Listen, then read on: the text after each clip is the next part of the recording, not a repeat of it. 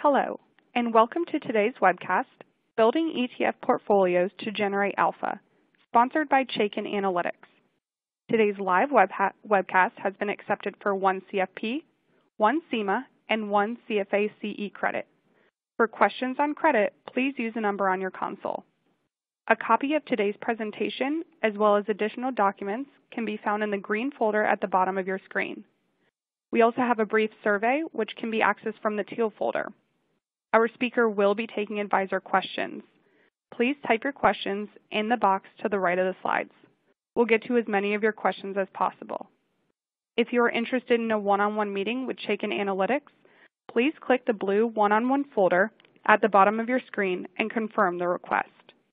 A replay of this webcast will be made available. All registrants will receive replay information by email 24 hours after the webcast ends. Today's speaker is Marc Chaikin. He has been on Wall Street for 50 years, building quantitative investment models for institutional investors, and has been speaking to the RIA database community for Chaikin Analytics and partners like Index IQ and NASDAQ. So with that, I'd like to turn it over to Marc Chaikin, CEO for Chaikin Analytics. Marc? Thank you, Natalie, and welcome everybody. We're going to cover some really interesting ground today, uh, and we've already had a question, is this uh, pointed toward advisors who create active uh, portfolios? And in a sense it is. Uh, it's not just with ETFs, but with the best stocks and the best ETFs. Obviously, if you're following your firm's allocation sleeve, uh, you're sort of committed to the vehicles that they've picked. Uh, but uh, this will be, I think, uh, very, very instructional even for people who are uh, following firm allocations. So a little bit of my background. Uh, as Natalie said, I've been on Wall Street for over 50 years. I'm noticing on CNBC that another 50-year veteran, Leon Cooperman, is hanging up his hat, uh, which is um, sort of a, a, seminal day for the hedge fund community. I did retire 10 years um, from 2000 uh, 1998 to 2008, and actually came out of retirement after the financial collapse of 08 to form Chaikin Analytics. Uh, for 45 years, I've been using technical analysis, but always in conjunction with fundamentals. Fundamentals drive the market. That's one of the key slides and premises uh, in today's webinar deck, and also drives everything we do at Chaikin Analytics.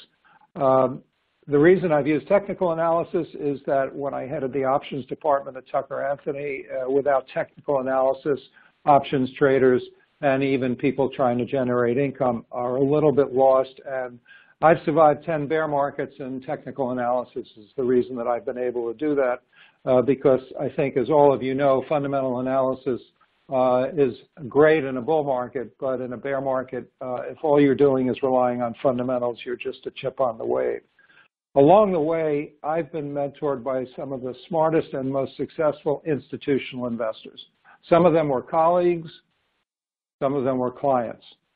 And the reason that's important is when I came out of retirement in 2009 to start Chaikin Analytics, my goal was to draw on everything I had learned selling technical analysis workstation to fundamentally oriented buy-side investors and distill that down into a uh, rating system, an objective multi-factor model, although nobody was talking about multi-factor uh, back in 2009. And it, we call it the Chaikin Power Gauge rating, and it's really the culmination of my life's work. And you'll see the factors in the model, how we apply it to individual stock selection, how we use it to uh, zero in on sector and industry group ETFs, and I think you're going to find this very interesting. We'd like to start uh, today's webinar with a poll question. So Natalie, you're on. Great. Thank you so much, Marc. The first poll question reads, are you fully committed to the market? You can choose from the following. Yes, I am all in, holding some money on the sidelines, or playing defense right now and you can click your answer right on the screen and hit submit. Again, your answer choices are yes, I am all in, holding some money on the sidelines, or playing defense right now. All right, Marc, it looks like about 55% say that they're holding some money on the sidelines with about 40% saying yes, they are all in. What are your thoughts on these results? Well, I think it's interesting that uh, very few play, uh, people are playing defense right now, and that's, I think, appropriate. Uh, we talk to advisors every day. I was just out in California um, meeting with advisors on Thursday and Friday, and we do hear uh, concerns and get questions about uh, tariff policy, where currencies are going, uh, interest rates, and so forth. But in general, I think people are impressed with the strong trend in the market, uh, with the strong earnings that uh, are coming out here in the second quarter, building on the first quarter. Uh, and most advisors are concerned about asset allocation and being in the right sectors, avoiding weak sectors if they're doing, um, you know, sort of uh, ETF uh, construction themselves. So I thought we'd start the webinar by looking at what we've been dealing with here for the last uh, six months in 2018. Uh, we've gone from an uptrend on autopilot in 2017 to a roller coaster of a correction. Uh, 2017 was easy if you didn't get influenced by the headlines. And believe me, if you watch CNBC at all or read the, um, uh, the financial press, you know that there were a lot of reasons that people offered up to turn bearish on the market. None of them have panned out. And even the noise of the tariff wars and potential currency wars have failed to disrail or derail this um, this bull market. It's an earnings-driven bull market. But just to put corrections into perspective, we've drawn this chart that looks at declines in the S&P 500 since 1945. So anything uh, between 5 and 10% is called a pullback. Uh, we didn't even get a 3% pullback in 2017. If you were following the trend of the market and you were fully invested, it was a great year for stocks. Uh, once, and there have been 75 pullbacks of 5 and 10%. So they're normal, and the interesting thing is they only last about a month, and within a month you move back up to new highs. The more challenging uh, type of pullback is called a correction. That's between 10 and 20% drop in the S&P 500. We've had now 28 of them because this doesn't include the most recent one that we had in uh, February and March of 2018. And this is the interesting takeaway for me from this slide. The average length is four months, and within three months, the market moves back to new all-time highs. So 13% average decline. This decline was 13.4% to the intraday low of 25.33 uh, back in um, February. We tested that low, as we'll see on the next slide, and then we moved back up. Now, the S&P 500 has been lagging, but the NASDAQ 100 and the Russell 2000 Small Cap Index have already moved back up to new highs. Bottom line, everything we've experienced since the peak on January 26th is normal. So don't get spooked by the headlines. That's so critical. I was uh, asked at this conference that I spoke at in Napa on Friday uh, to give one recommendation at the end of my talk. And uh, most of the other people representing major fund groups like um, BlackRock and Invesco pitched uh, one of their favorite investment vehicles, their own obviously. My recommendation to the advisors, and there are about 50 of them there, stick to your plan and don't be distracted by the headlines. If you do that, selection is the easiest part. It's when you get off message and let the headlines influence you. So what should advisors be focusing on this year? Well, the trend of corporate earnings to me is absolutely critical. We're in the middle of uh, second quarter earnings season here. It's expected to show 20% year over year growth uh, with more growth yet to come in Q3 uh, and Q4. Obviously, part of that is because of the tax uh, cut that was enacted in December, but it's an earnings-driven bull market. Now, in Q1, in April, we had a sell on the news mentality. We've seen less of that in Q2. Um, you'll see an example of one of our favorite stocks, Centene, based on our power gauge model. They reported fabulous earnings this morning. Uh, there was a little bit of profit taking. Why? Because the stock was making new highs uh, into the earnings report. Advisors should also be interested in watching interest rates, and we'll give you a slide on that in a minute. In a period of rising interest rates, sector and industry group selection is very important, and uh, individual stock selection is also important in a period of rising interest rates, less so in periods where interest rates are falling. So let's look at a one-year chart of the SPY as a proxy for the market. This is the large cap um, ETF that mirrors the S&P 500. And what we see here in this one-year chart is that we made what's known as a W-shaped bottom in uh, February and March, this is how corrections of between 10 and 20% almost always end. They don't end in a V-shaped bottom. That's what pullbacks look like, 5 to 10%. So again, very normal. And then uh, we've been in a well-established uh, intermediate-term uptrend since March, but we're just now breaking out above 2,800 in the S&P 500 index. We got as high as 2,830 today. Our long-standing target for uh, Chaikin Analytics for 2018, 2850 to 3000 on the S&P 500. Uh, the NASDAQ and the Russell have already achieved our target. So uh, from my point of view, it's an earnings-driven bull market. Large caps have been lagging.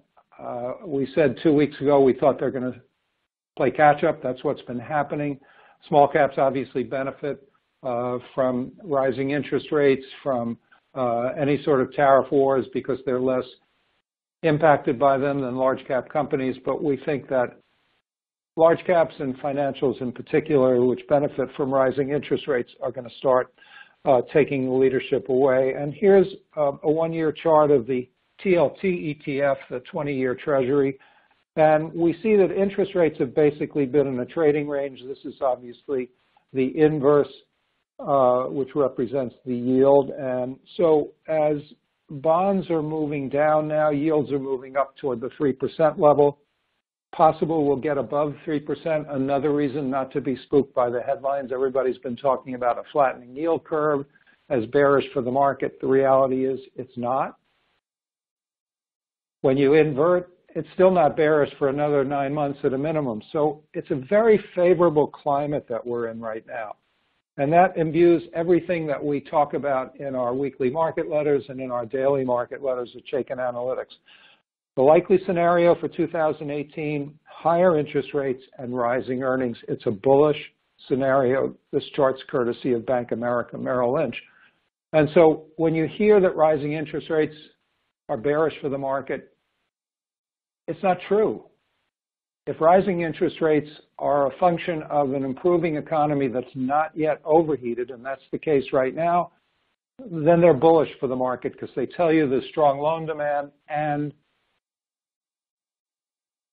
earnings and the economy are strong. So we're in a very strong environment, and I want to focus now on what happens in a period of rising interest rates because there's clear-cut differentiation between the sectors that do well in a period of rising interest rates and the ones that do poorly. The ones that do poorly are typically the defensive interest rate sensitive sectors like utilities, consumer staples, healthcare, now real estate. The ones that do best are the cyclical stocks, financials, industrials, technology, energy, and materials. The outlier is consumer discretionary. Part of the reason is it's a very, very a diverse group. You've got domination by Amazon, although they're going to be changing the uh, sector constituents in September. Uh, you've got home builders, you've got uh, auto stocks, restaurants, retailers. It's, it's a diverse group. But clearly, the uh, six sectors or the five sectors at the bottom left do well in a period of rising interest rates. So let's see what's happened over the last month. Well, after a period where the market wasn't quite certain uh, whether to be defensive or not, uh, we're starting to see this pattern take hold. Technology and financials have outperformed. Industrials starting to perform better. Uh, energy. Healthcare is still up there, but at the bottom, we're starting to see the defensive sectors underperforming just in the last month, consumer staples, utilities, and real estate. So the patterns do tend to repeat. This is based on 50 years of data. So uh, they're reliable, and we're going to show you how to take advantage of that. Now, as we talk to advisors and try and show them how to use Chaikin Analytics in their practice, uh, we are confronted with uh, one common thread. There's just too much information to process. Uh, information overload is the bane of our existence in our personal lives and in our careers in the financial industry. So at Chaikin, we've created Chaikin Analytics for iPad and desktop as the solution, the antidote, if you will, to information overload. It can save you time and increase your productivity. And I'd like to uh, sort of give you a little bit of proof, social proof, if you will, Mauldin Economics. Many of you know John Mauldin, Jim Cramer. It features uh, Chaikin Money Flow as well as the Chaikin Power Gauge, our fundamental indicator on Mad Money. And we're being used by some of our old institutional clients uh, like Fidelity Investments and Soros Fund Management and Paulson. So a lot of the pros are using Chaikin Analytics. Uh, our primary constituent is high net worth individuals and advisors like yourself. Now, everything that we do at Chaikin Analytics is infused with the notion that fundamentals drive the market, even though I'm known for technical analysis, but emotions drive the market to extremes. We saw that in February, uh, first in January when the market peaked in sort of a French curve type up move, and then that waterfall decline in February and March. So for me, in 50 years of Wall Street, the path to profits has always been to combine fundamentals with technicals. Now the problem is, how do you do the fundamental research? Well, obviously, if you're at a big investment bank, you've got a research department. Uh, if you're an independent advisor, you're going to find various uh, resources to um, rely on for fundamental research. No matter where you're situated, you need a disciplined methodology. Whether you're using ETFs or mutual funds or whether you're building bottom-up stock portfolios. So this discipline sort of encapsulates the, um, this pyramid rather encapsulates the discipline methodology that we've been preaching and teaching at Chaikin Analytics for the last uh, seven years. At the top of the pyramid are fundamental multi-factor model distilled down to a gauge. We call it the Chaikin Power Gauge. And sector rankings and industry group rankings, very important. And we look at them very differently, and we're about to enhance that view uh, in August. At the bottom of the pyramid, we like to confirm the fundamentals with technicals. So Chaikin Money Flow, which many of you know on all the um, uh, major platforms, including StockCharts.com, Bloomberg, and Reuters, and so forth. Uh, been in the marketplace for 35 years. And then a unique way of looking at relative price performance, and we'll show you that and why it's so important. And then in the middle, for those of you who uh, like to time uh, additions to a portfolio and so forth, we have buy and sell signals. But this pyramid really is all you need to make solid investment decisions or talk about individual stocks with prospects and with clients. So at the heart of all this, the Chaikin Power Gauge rating, a very simple display, but please don't confuse simple with simplistic because under the hood, there's a lot of number crunching going on. I like to say that the Chaikin Power Gauge rating is like a Chevrolet with a Ferrari engine under the hood. And as you'll see in a minute, it can be your GPS during earnings season. It can point you to the stocks that are likely to report positive earnings surprises or disappoint. And I'll show you on the next slide why that's so important. So the Chaikin Power Gauge rating looks at four primary factors, value, growth, technicals, and sentiment. And within each of those, there are five sub-factors.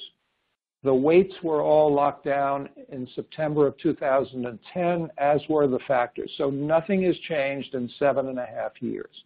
That's really important because a lot of people are chasing alpha by looking to see which factors are working now. That just never works because you're always behind the curve.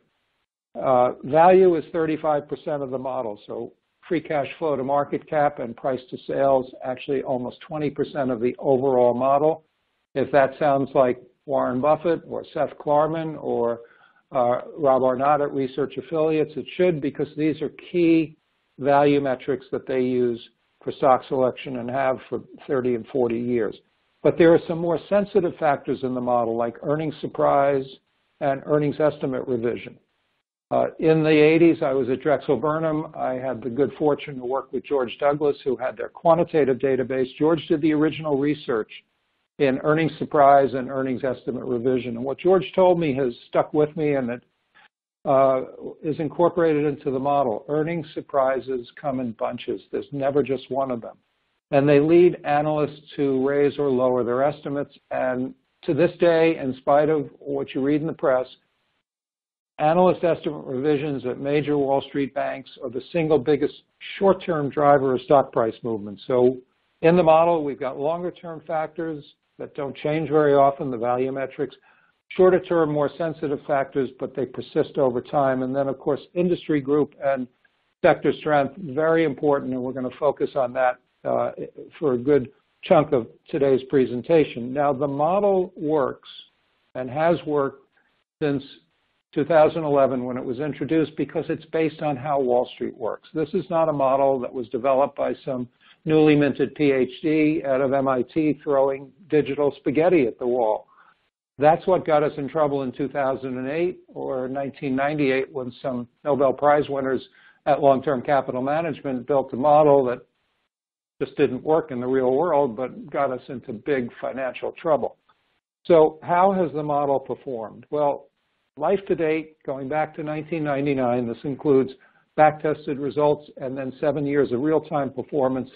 In the Russell 3000, the average very bullish stock up 20%, the average very bearish stock up only 1%, and that's after a nine-year bull market. If we were looking at this uh, in 2009, the average very bearish stock would have been down 5 or 6% over the previous 10 years. So from our point of view, if you're doing bottom-up stock selection or evaluating ETFs, you want a preponderance of bullish power gauge ratings in the stocks in that ETF, or if you're building a bottom-up stock portfolio, you want stocks with a very bullish rating. If you are using something like the Chaikin Power Gauge rating to evaluate and filter your firm's research, that is a really excellent way, if you're a discretionary manager, to separate uh, the good from the bad, even within a firm's research department. Now, in 2015, it was really important to know which stocks had a bearish rating in our multi-factor model. Why? Because energy stocks went into their own bear market. We're often asked, well, the power gauge rating has worked, but you've been in a bull market the whole time. You could throw darts and make money in a bull market. And my response has always been, yes, unless your dart landed on an energy stock in 2015 because the average very bearish stock in the Russell 3000 was down over 17%. Think about that. Small caps in general were down over 22%.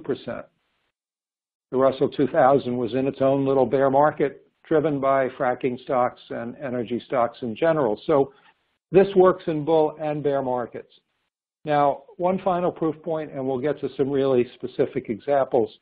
Uh, we have a partnership with NASDAQ where we've created three NASDAQ Chaikin indices, large, small, and mid. I'm sorry, and dividend achiever. And uh, New York Life's Index IQ subsidiary licensed all three and launched the first exchange-traded fund using top-down rules-based methodology based on the power gauge rating in May of 2017, the large cap was launched. In December of 2017, almost a billion dollars in these two ETFs. Very unusual for a new ETF to get 500 million in assets. Not a recommendation to buy it, just proof that the power gauge works not just for intermediate term, but on a buy and hold basis because these are indices that are rebalanced once a year. So very proud after a 50-year career to have rung the opening bell on NASDAQ with our team and with Index IQ on April 30th. So now uh, let's look at what you came to this webinar for. um, how to find bullish stocks and bullish ETFs and know which ones to avoid. So we have a pattern called Classic Chaikin Bull. It's just three pieces. Power gauge rating is bullish, meaning the fundamental potential for a stock is strong based on that 20-factor model. It's outperforming the market, and Chaikin money flow is strong, telling you that institutional investors are accumulating the stock. So here's our poster child, and we've been using this for nine months for a classic Chaikin bull. It's Centene Corp, Medicare provider, Medicaid provider that actually figured out how to make money in a, an environment where the government is pulling back and funding Medicaid. And yet the power gauge rating on this one-year chart, and by the way, we read a chart from the bottom up. The reason being our go-to directional indicator is the power gauge rating, and that's a ribbon at the bottom of the chart. So power gauge rating for Centene has been bullish almost exclusively for the last year, so that's your directional edge. And then right above that, our unique way of looking at relative price performance. We convert it into a heat map. So for those of you who use Investors Business Daily or Dorsey Wright, they've got their own way of doing it. We like it to be very visual. And when stock with a bullish rating is outperforming the market, we say the market agrees with the model because no matter how good your fundamental research is or your firm's research is, if the market doesn't agree with you, guess who wins? The market always wins. Then we go back up to money flow. Chaikin money flow oscillates between red and green around a zero line. We want to see institutional accumulation in stocks that we own or we're thinking of buying. Then we look at the price action. And on this chart, we have one of our six pairs of buy and sell signals, relative strength signal that's very, very powerful, tends to last four to eight weeks, and you get price acceleration. And that's what Centene did. It accelerated yesterday into this morning earning, earnings report and that's right up on the top. So everything you need to know to analyze a stock, to talk intelligently about that stock to a prospect or a client who owns it, is right here on this chart. So we knew that Centene was due to report. Analysts were actually raising their estimates into the report. We have that green exclamation point telling us that. And you've seen some profit taking. Uh, the stock is down around three points today. If we get two or three days of profit taking, that may, that may be another good entry point if you like healthcare and you think Centene is uh, one of the leaders and will continue to be. Now, we've also introduced something new in Chaikin Analytics. I know we have some of our subscribers on the call today. It's a printable chart. And it's a little different than the screen view we're looking at because it shows you the power gauge rating and the four primary factors, and then some more information about earnings estimates, market cap, yield, and so forth.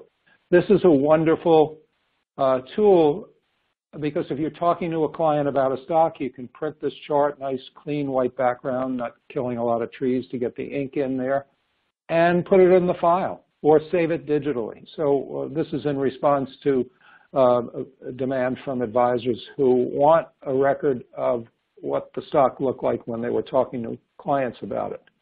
Now, it's nice to know there's a pattern like the classic Chaikin bull, but the question has always come up, how do we find these stocks? So we created a screener that's unique in that it enables our members, our subscribers to screen on the factors in the 20-factor model as well as the rating itself, and to start out with whatever universe you like. So for a webinar I did before I went out to California last Wednesday, I screened the large cap growth universe because I felt, as I said, that large caps were going to start catching fire again. Uh, and I wanted uh, a, a, short list of stocks. So I filtered 530 names down to uh, just these 12 you see on the screen by requiring that the power gauge rating be bullish, that free cash flow be strong, and that the two technicals, money flow and relative strength, were positive. And I got a list of 12 stocks. That becomes my watch list. Buying opportunities present themselves. So Centene's on there. We've already seen that. And Biogen was on there. And Biogen, as you'll see in a minute, responded very positively to earnings today. So this is how easy it is to apply that discipline methodology. Now, the classic Chaikin Bear is just as important because uh, whether you're doing your own research or your firm's fundamental research, there are going to be stocks that uh, in a quantitative model are running counter to that research. So what is a classic bear? The power gauge rating is bearish, meaning that those 20 factors are fundamentally against uh, positive performance. It's underperforming the market, and Chaikin money flow is red, not green, telling you that institutional investors are selling the stock. So here's Whirlpool, which is a poster child for a classic Chaikin Bear. It's gone nowhere uh, in a market that's making new highs. And at the bottom of the chart, we see why. The power gauge has been bearish since late January. The stock has been underperforming the market for the last 12 months, so the market agrees with the model. And look at the institutional selling that's been going on since February. Chaikin money flow tells you that institutions are using any excuse, any rally in the stock to get out of it. And Whirlpool reported earnings before the opening this morning. And you'll see in a minute what happened. Uh, the stock had a very negative reaction to the earnings report. And that's validation. So in overnight trading, pre-market trading this morning, Whirlpool was down 13 points, down 14% when we started the webinar in response to a negative earnings surprise. On the other hand, Biogen, which showed up on that screen last Wednesday, positive earnings surprise, up 3 or 4% earlier today, 20 points before the opening when I did this slide. Validation for the power gauge happens every day. It also happens over time as the NASDAQ Chaikin indices have shown. So I'd like to uh, sort of segue into the next poll question. So Natalie, if you're there, this one I think gives you uh, multiple choice answers. Great. Thank, great. Thank you, Marc. All right, the second poll question reads, how do you differentiate your practice from the competition? And you can select all that apply to you. You can choose from the following, idea generation, stocks, ETF selection, holistic wealth management, or enhanced client communication. Again, the answers read idea generations or stocks, ETF selection, holistic wealth management, or enhanced client communication and you can click your answer directly on the screen and hit submit. So Marc, it looks like almost 73% of the audience says holistic wealth management with about 44% saying enhanced client communication. What are your thoughts on these results?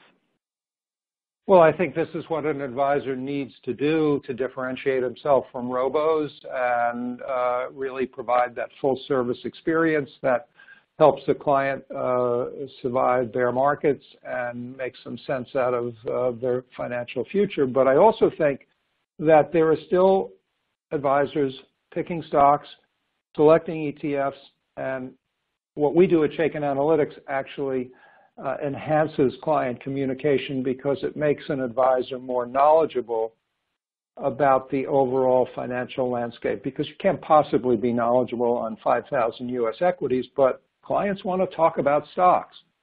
So for the balance of the webinar, we're going to talk about using sectors and sector ETFs and industry group ETFs to allocate client assets. We do that by analyzing the 10 Select SPDR sector ETFs using something we call our power bar ratings. We then drill down on strong sectors to see the best stocks in those sectors for people who are using bottom-up stock selection. And we find those stocks with the best potential in the sector ETFs. So uh, we talked about the power bar, and it enables us to find strong sectors and industry groups. And research has shown that uh, investing in sector ETFs and in industry group ETFs uh, that have been strong will give you a tailwind, and particularly the stocks in those groups. Whereas if you're investing in weak sectors, and right now that would be uh, consumer staples, it would be uh, the defensive sectors uh, that have really been underperforming. You're faced with headwinds.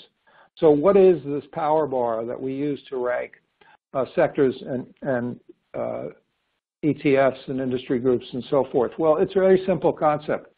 We look at the constituents in any ETF and we determine how many have bullish versus bearish ratings in our multi-factor model. That gives us the power bar. And when there are more bullish stocks by a wide majority, that typically has resulted in that ETF outperforming the market. So it tells you what the potential is for the holdings in an ETF. And you'd be very surprised within any category like small cap blend or large cap growth. There's a big difference between the best and the worst power bars for ETFs. Now, in August, we're going to launch the Chaikin Power Gauge rating for ETFs that's going to combine the fundamentals and the technicals. It's going to be unique. We've been working on this for three years. We want to get it right. So we're going to have another level of ETF analysis. But we've done extremely well with our advisor clients by just looking at the power bars or the select SPDR sector ETFs as a guide to where to focus your asset allocation. So here's the sector performance for the last six months of the uh, 10 select SPDR sector ETFs, and there's going to be a new one because they're realigning these called the communications uh, ETF uh, coming in September. But working with what we have now, uh, technology shows the best power bar followed by consumer discretionary. Uh, and down at the bottom, we've got um, sort of uh, consumer staples. And I'd like to take a look at what the power bars look like in those 10 select SPDR sector ETFs. That was price performance. So we were looking at price performance uh, where you had technology and consumer discretionary leading the pack. Now let's look at what the power bars are actually saying today. And um, what you've got here is utilities and financials. Uh, I think the rally in utilities is um, unsustainable because these companies don't benefit from the tax cuts that were passed and they're constrained in terms of growth potential. And we are in a growth market in my view. So let's look at the technology ETF where there's 17 stocks with bullish ratings in the S&P 500, only four with bearish, and then the consumer staples, which is down at the bottom with three bullish and 10 bearish stocks. So here's a one-year chart of the XLK, the Select SPDR Sector technology ETF, and two things to note here. It's been outperforming the market for 12 months, so it's not a Johnny-come-lately sector, even though people have said too much waiting in tech, and it's been making new highs ahead of the S&P 500. So what I'd like to do is zero in on two stocks in the sector. On the left, we show you all the bullish stocks in the sector. We start with the bulls and go all the way to the bears. So we're going to take a look at Facebook and then Computer Associates. So here's Facebook. And at the bottom of the chart is a pattern that's very, very important. Too often on Wall Street, we put our feet in cement. So we've created a concept called a bullish or bearish personality change. And that's why our relative strength heat map is so critical. If a stock or an ETF goes from underperforming or red on our heat map to outperforming or green, we call that a bullish personality change. And that happened in early May for Facebook, which had gone through that correction based on privacy concerns and the leaking of data to Cambridge Associates and so forth. And all along, the institutions were accumulating the stock. They didn't bail on the stock, even though it sold off from uh, 190 to 150. They were accumulating it. How do we know that? Chaikin money flow stayed green the whole time. That's that combination of fundamentals and technicals. The power gauge rating has been bullish since early May, and then we got this little pullback uh, two and a half weeks ago, uh, which was a buying opportunity. This is our oversold buy signal. Comes on an eight-day low in a stock that has a bullish power gauge rating. So very powerful way. Start with the sector XLK, zero in on a strong stock with a bullish rating like Facebook that satisfies all our criteria.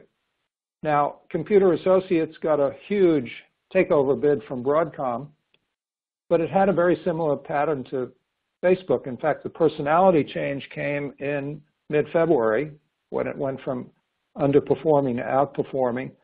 Series of buy signals, in this case, the relative strength buy with money flow very positive. So uh, this stock was under accumulation. And as you'll see in a minute, the computer software group was also strong. And you got a buy signal about a week and a half before that big takeover bid when the stock went from 36 to 44. So sometimes it's better to be lucky than good.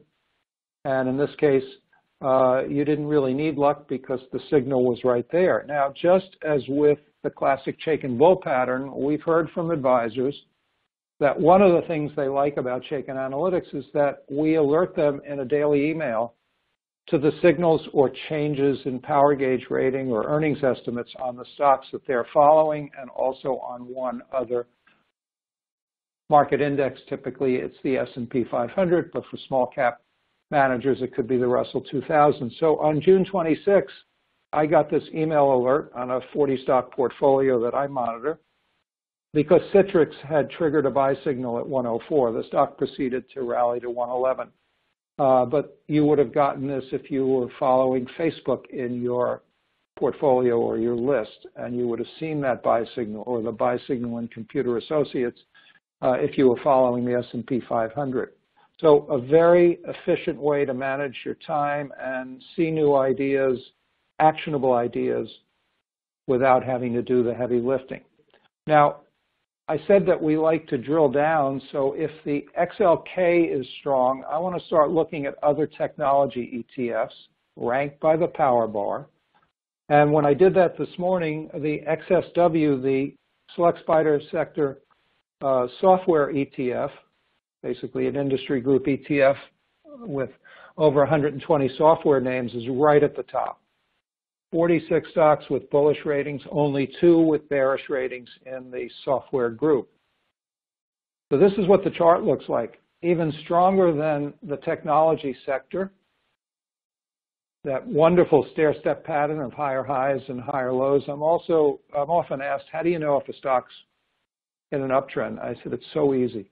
You see a pattern of higher highs and higher lows, whether it's a stock, an ETF, or a market average until proven otherwise, that's a very bullish pattern and new highs um, ahead of the market and ahead of tech itself, outperforming except for that brief period in December and January. So again, on the left are all the stocks in that ETF, 120 of them ranked by the power gauge rating, and I'll just zero in on one, FDC First Data Corp, to show you, uh, again, chart pattern that's very, very useful.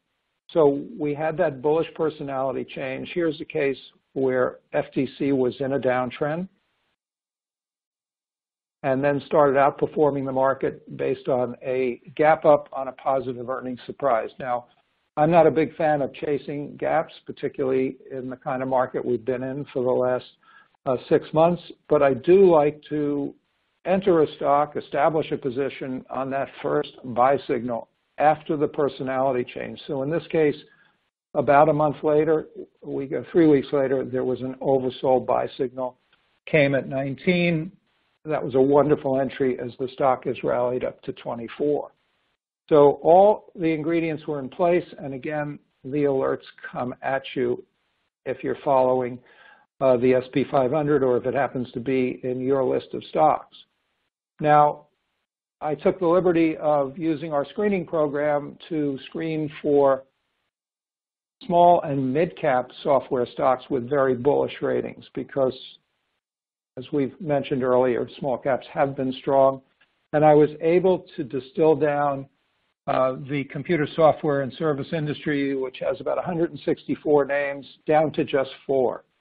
And one of them, VRIT, is the stock that we've highlighted many, many times over the last three months. Uh, that's what the stock looks like. All the ingredients we've talked about are in place. Reading from the bottom up, power gauge is bullish, outperforming the market, under accumulation by Chaikin money flow, and a buy signal happened uh, about two and a half weeks ago. And this is the kind of discipline, whether you're looking to choose ETFs or individual stocks, that can really help you improve your client performance, add alpha to a portfolio, And if all you do is what we're going to show you in the next segment, which is to play good defense, you're going to improve client performance. So what is playing good defense? Well, it means knowing which stocks not to buy, knowing which sectors and industry groups have weak power bars. And as I said in late uh, August, we're going to introduce a Chaikin power gauge rating for ETFs, the fundamentals and technicals blended in. So one way to play good defense is to see which sectors are performing with negative power bars. So consumer staples is one we identified. It's had a nice little retracement rally, but if you look at the peak at 59 and the trough at 49, you realize that this is not a sector you wanted to be in in 2018. So playing good defense means avoiding the sector ETF and then zeroing in on the weakest stocks in that sector in case they're in client portfolios. So in this case, I zeroed in on two that we've mentioned over and over and over again in our weekly and daily market letters, Philip Morris and Estee Lauder. So here's Philip Morris, again, a one-year chart. Power gauge has been bearish, underperforming the market, under distribution, and right before earnings were released in April, my associate Dan Russo, who's uh, the head of the uh, Charter Market Technicians New York chapter and writes our morning market commentary, uh, identified Philip Morris as his bearish stock of the day. Why? Because all three of these negative conditions were in place and it had triggered a sell signal. And you had, just as you did today with Whirlpool, a bearish earnings surprise, a negative reaction to guidance, and the stock dropped from uh, about 100 all the way down to 78. So this is an example of playing good defense. It's also a way that you can have uh, a very rich conversation with prospects who might own Philip Morris or with clients who have a position, maybe they've got a tax basis that uh, ostensibly says, I don't want to sell it and pay the taxes. I've always been a big believer that uh, unless you have zero cost and the company is thriving, I'd rather pay the taxes or use them to offset gains than watch a stock drop from 100 to 78. That's painful, and it makes you doubt your decision making. So playing good defense enables you to do just that. Now, Estee Lauder is a cosmetics company that where the power gauge has just recently turned bearish and where it's just now had that rollover to a bearish personality change, where it's now underperforming the market. So uh, we could still be early in the game. Uh, the peak on Estee Lauder was around 155. This is, again, our new printable chart that shows you that all the four factors, the primary factors in the power gauge are bearish, which suggests that this company is going to have tough time getting traction on the upside. It's trading at 140. Again, what a wonderful conversation to have with a client who owns Estee Lauder or with a prospect who has it. You're going to be more knowledgeable than anyone else they're talking to in the investment community. So that's what playing good defense means. Now, one final sort of uh, feature to Chaikin Analytics that has yielded huge benefits to our advisor clients is our stock discovery engine because it provides profitable swap ideas and another reason to talk to a client. You seed it with a stock. In this case, I seeded it with Philip Morris, which has a bearish rating, large cap stock. It tells you why, uh, it, how it's characterizing Philip Morris. And first, it identifies stocks with similar patterns to Philip Morris, so Procter & Gamble uh, in consumer staples, VGR in the tobacco business. But more importantly, it suggests potential swaps. So in this case, either Archer Daniels or Coca-Cola Enterprises are two uh, stocks which might be a good replacement for Philip Morris. Obviously, if you did this two or three months ago, you would have been ahead of that uh, negative earnings surprise and very happy uh, to have switched out into stocks with bullish power gauge ratings that are moving higher and the combination of fundamentals and technicals in both those stocks was very, very attractive. So uh, Analytics is normally $2,195 for an annual subscription. You can go to chaikinanalytics.com slash RIA, and we've got a special offer for you. And it includes, at its heart, that 20-factor model that's driving those two ETFs with a billion dollars in them. Also includes the stock discovery engine, and amongst a lot of other features, as a Chaikin subscriber, you get member-only access to Dan Russo's weekly strategy webinars. Uh, you also get unlimited coaching. We have uh, people who are former RIAs who've been in your seat, who are in our customer success department just to talk to advisors like yourself. And then you get Dan Russo's Morning Market Insights, which is a great pre-market read, so you don't have to stay glued to CNBC to know what's going on in the markets. So it's a complete package. And I think the most uh, compelling endorsement that we've gotten is from John Mauldin. I know many of you read his macro newsletters. John uh, was introduced to Chaikin Analytics almost three years ago, and he gave us this endorsement. He said, I'm impressed by what Marc has done. My analysts are enthusiastic users of Chaikin and use it to analyze the trades and recommendations of our writing team.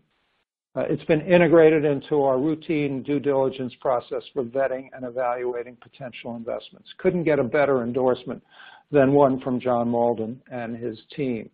So we'd like to make a special offer for the RIA uh, community, the R uh, RIA database community, and reduce the list price from $21.95 down to a webinar special of only $1,795 for an annual subscription.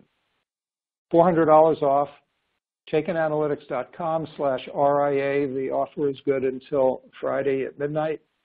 And if you have any questions on anything you've heard, we're going to get to the Q&A now, uh, which Natalie's going to curate, just call 877-697-6783, and we've got people who'll be happy to answer any of your questions.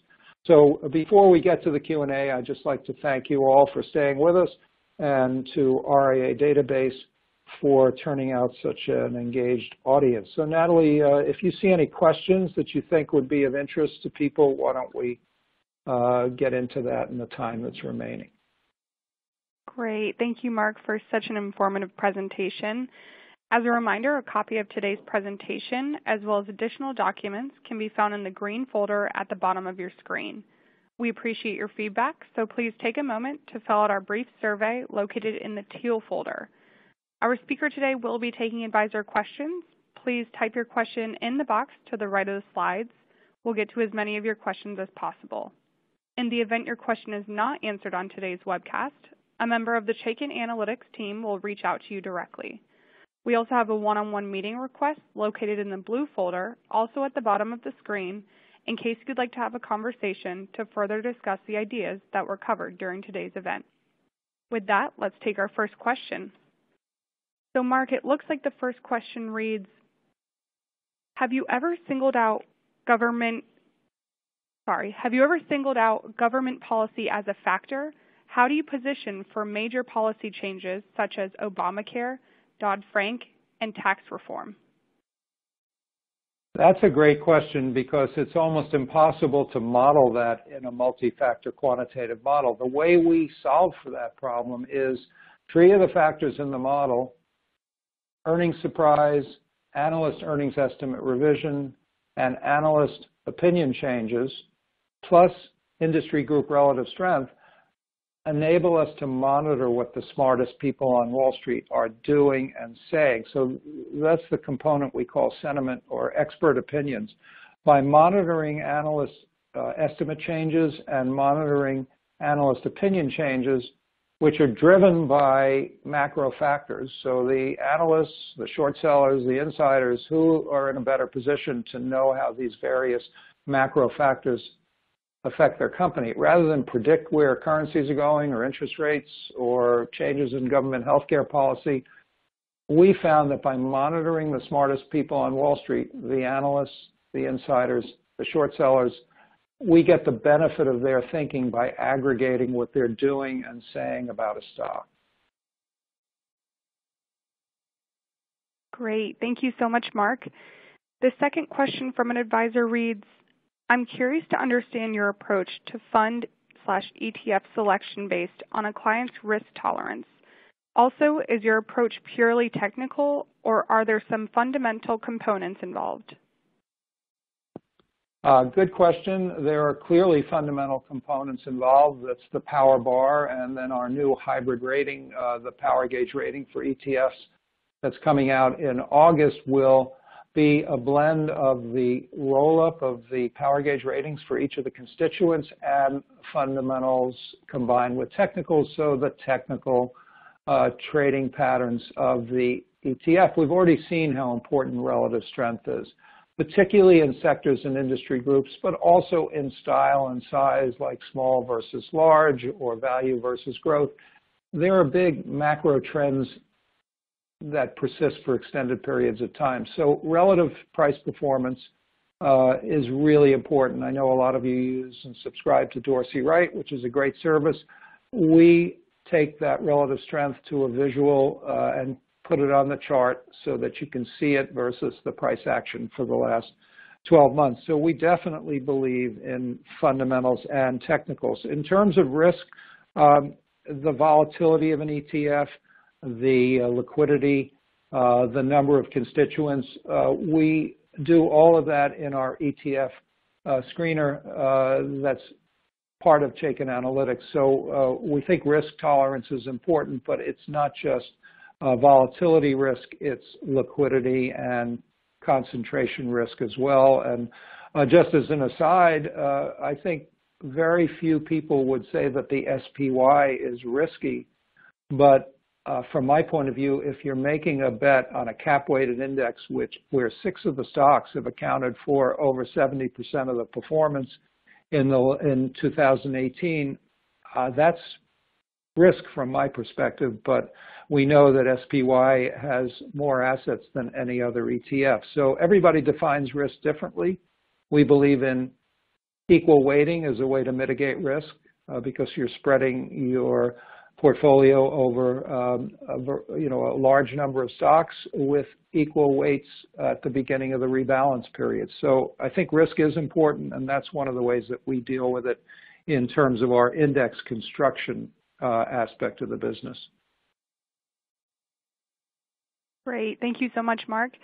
The last question that we'll get to today reads, is the idea essentially to be our own active managers of portfolio made up of several passive exposures? Well, I think that's a very good way to differentiate yourself from the robos who are allocating primarily to SPY, IWM, uh, you know, the, the various uh, big fixed income uh, ETFs. From our point of view, having worked with advisors uh, like uh, those of you on the webinar today, um, if you can differentiate yourself, uh, you have a much stronger conversation with your client when it comes to fees, because we all know there's been fee compression in ETFs, which has been good for all of us. But now there's starting to be fee compression at the advisor level. So uh, when it comes to that conversation, and I'm sure uh, you know everybody laughs when they see the Schwab commercial on TV where the client is asking about fees, when it comes to that fee conversation, if you've been creative at finding passive vehicles that can add alpha, like, uh, for instance, the Chaikin Large Cap ETF, CLRG, or the Chaikin Small Cap CSML, uh, the IQ Chaikin, uh, again, not a recommendation, just as an, as an example. If you can find vehicles based on a disciplined methodology that either your firm has created or you've created that can add alpha and differentiate you from the robos and from a typical advisor who's just following a sleeve, uh, then I think you've got a much richer conversation uh, with the client and uh, a call on his loyalty and his longevity over time. Also a great way to get that younger generation of clients who think they can do it themselves. I mean, I, we ask a lot of advisors, uh, of your three biggest accounts, do you have the children? And the answer is invariably no. They're doing it on their own. Well, if you've been creative and have found a methodology that works for you uh, that's different, you're more likely to get that next generation uh, to stay with you rather than disappear into the robo community. So uh, with that, Natalie, I'd really like to thank uh, RIA Database and all the advisors who stayed with us uh, in what I hope was a very informative webinar. Uh, again, our people are standing by, 877 697 6783, and I look forward to our next webinar.